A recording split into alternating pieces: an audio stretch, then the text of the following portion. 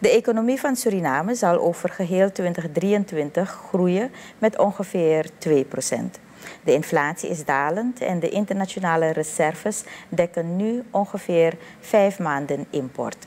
Dat zijn belangrijke conclusies die het IMF trekt na haar meest recente beoordeling die ze 4 december heeft gepubliceerd.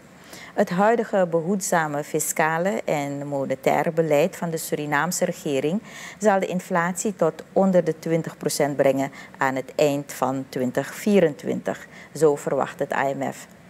Het fonds constateert dat Suriname een sterke prestatie levert en dat ons land aan alle kwantitatieve en indicatiecriteria voldoet.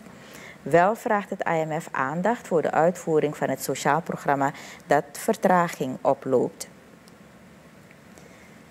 Op de Marowijnenrivier worden gezamenlijke patrouilles uitgevoerd door het Franse Police aux Frontières, de PAF, en het Nationaal Leger Suriname.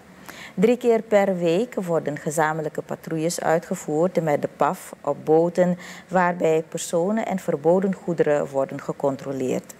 Op 30 november heeft de Franse politie illegale brandstof in beslag genomen op Frans grondgebied. Deze jerrycans aan brandstof zijn overgedragen aan het korps militaire politie. De samenwerking met de Franse politie verloopt zeer goed. De acties verlopen soepel en zullen onverminderd doorgaan. Vandaag wordt wereldwijd de Bodemdag gevierd.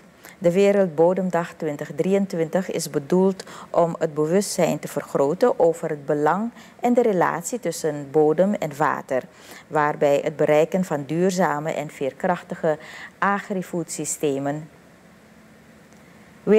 WSD is een uniek mondiaal platform dat niet alleen de bodem viert, maar ook burgers over de hele wereld in staat stelt en betrekt om de bodemgezondheid te verbeteren. Het ministerie van ROM zegt dat het voortbestaan van onze planeet afhangt van de waardevolle link tussen bodem en water.